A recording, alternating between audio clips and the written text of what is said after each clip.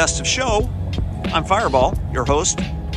And uh, today we're looking at, uh, well, we're at County Line Cars and Coffee. It's super early. It's freaking cold. It's about 28 degrees out here. And this is a beautiful Country Squire, Ford Country Squire wagon. Look at that turquoise color. Wow.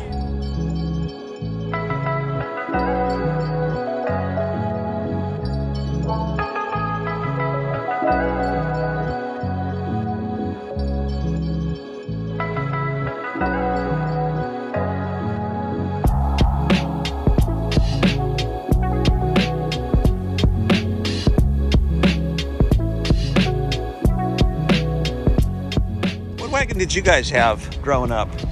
Did you have one? I had a Chrysler. My parents seemed to like that. But uh, all the wagons were cool. Door opens up. Oh, check this out. The key's in it. I'll take it. What a beautiful car.